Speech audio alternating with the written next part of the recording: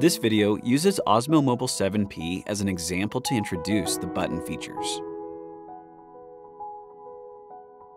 Press the M button once to switch between four gimbal follow modes.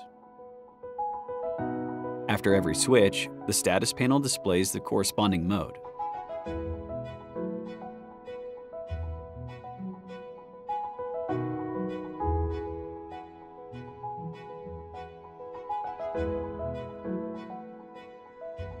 Press the M button three times to enter standby mode and reduce battery usage. Press any button to exit.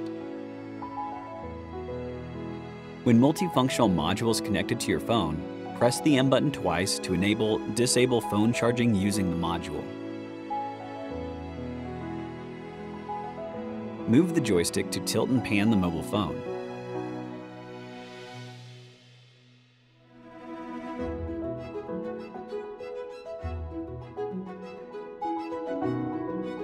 You can also gently push the gimbal to adjust its position.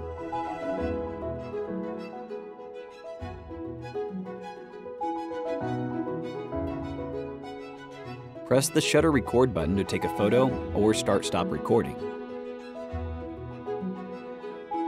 When using DJI Mimo, press and hold the shutter record button in photo mode for burst shooting.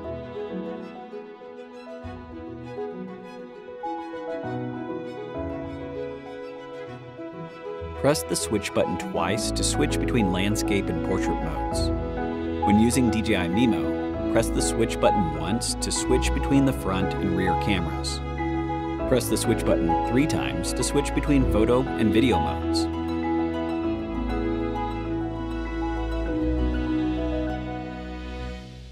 Press and hold the wheel to turn on off the fill light.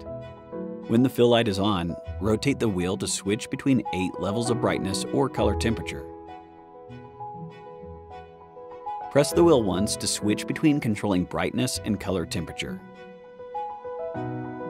In DJI Mimo, you can press the wheel twice to set the effect of rotating the wheel to focus zoom control or brightness color temperature control. And press the wheel once to switch between focus and zoom modes.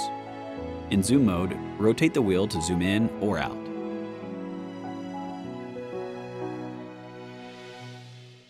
In focus mode, rotate the wheel to adjust the focusing distance.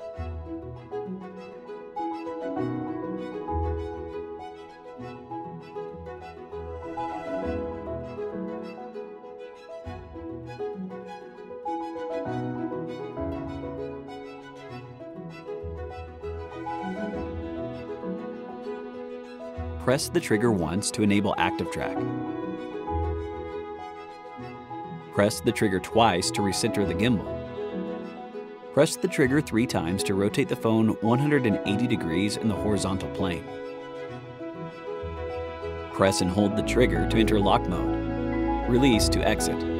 Press the trigger once and then press and hold to adjust the follow speed to fast mode. Release to exit. When the gimbal is powered off, connect the port to your phone to enable phone charging.